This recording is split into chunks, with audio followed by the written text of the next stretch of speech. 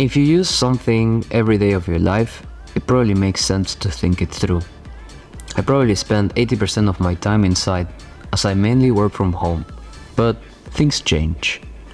And when I do go out and just get out of the game, there are a few things that have to come with me. Like everyone else, something that doesn't leave from my side that much is my phone. I currently have the iPhone 11 and I upgraded from an iPhone XR. I don't believe in upgrades for these things anymore, even though the newer iPhones with the square aesthetic are looking sexy as f. I find that phones pretty much stay the same, except for the normal wear and tear and loss in battery life. As you can see, I actually drop mine quite often. It has a black case to protect it and a tempered glass which is quite broken. I actually take two phones with me sometimes, because of work. During the work week or when going to the office, I take one phone to take work calls or reply to emails when I am not near the computer. Facing up, they look quite the same. So in order to distinguish them, I put a red ugly tape that helps me know which one is which. On the inside my phone looks like this. If you want to copy it, I've made a video on how my phone is arranged. As you may have noticed, I wear glasses. They don't leave my side. Get it? Side? Glasses, they are in front of me? Never mind. I've been wearing them since I can remember. It was in the late years of my life that I actually embraced it.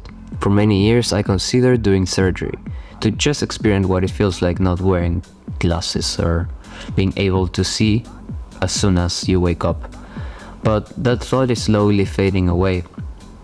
I want to say that it's because they become part of my identity, but in all honesty, it's because they're expensive as fuck. I have a Secrid wallet, which looks cool. It has this button, I don't know how you name it, and you pull it up and all your cards come up. And it also has space for some coins, other cards, and oh hey, look, money!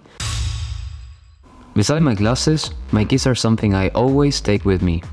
I had an old keychain, which was not helping with my pants and was actually making some holes in it. So instead I bought this leather keychain which helps to keep all the keys in one place. And it fits perfectly in my pocket. I also take a watch with me. I try not to look at the time from my phone and actually try to use it as little as I can. So I have my watch. I have two watches actually.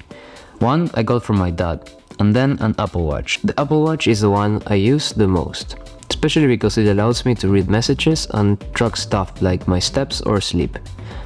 Unfortunately, I need an upgrade, because the screen cracked and price of fixing the screen is more expensive than the watch itself.